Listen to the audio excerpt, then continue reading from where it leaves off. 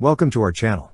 Don't forget to subscribe and put likes, because your support is important for us. And here we go. British company Evolve Dynamics introduced the Sky Mantis 2, a mini rotary wing UAV designed as an improvement over its predecessor, the original Sky Mantis. This updated version incorporates feedback from end users and advancements from the company's research and development efforts aimed at enhancing its operational efficiency and technical capabilities. The Sky Mantis 2 is engineered for rapid deployment, capable of being prepared for flight in approximately one minute. This feature, along with the ability for quick battery and payload swaps, aims to minimize operational downtime.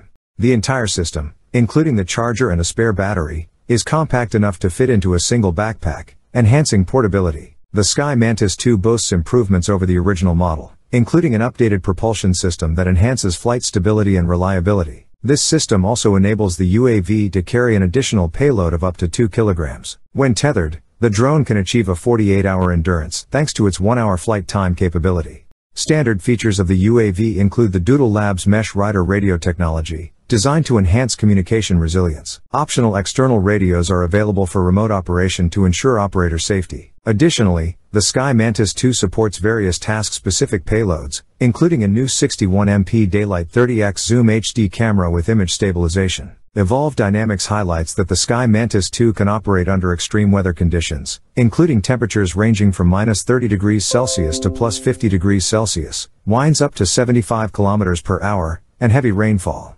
Equipped with dual HD 30x zoom low light and thermal imaging cameras, the UAV is designed for rapid deployment and quick battery replacement. The drone is versatile and can be utilized in various scenarios, such as locating individuals or animals in low visibility conditions, identifying vehicle details from distances of up to 300 meters, and providing aerial assessments of fire progression and structural integrity. Additionally, the Sky Mantis 2 can conduct security perimeter inspections and offer overwatch capabilities while remaining undetected at distances over 600 meters. Payload options for the Sky Mantis 2 include a gas sniffer and a 61 megapixel survey camera, catering to specific operational needs such as detecting gas leaks for safety and regulatory compliance, and conducting high resolution surveying and mapping tasks. The UAV is equipped with upgraded GNSS modules for improved navigation, and the introduction of blade battery connectors aims to enhance the reliability of battery connections. That's all for now, see you later.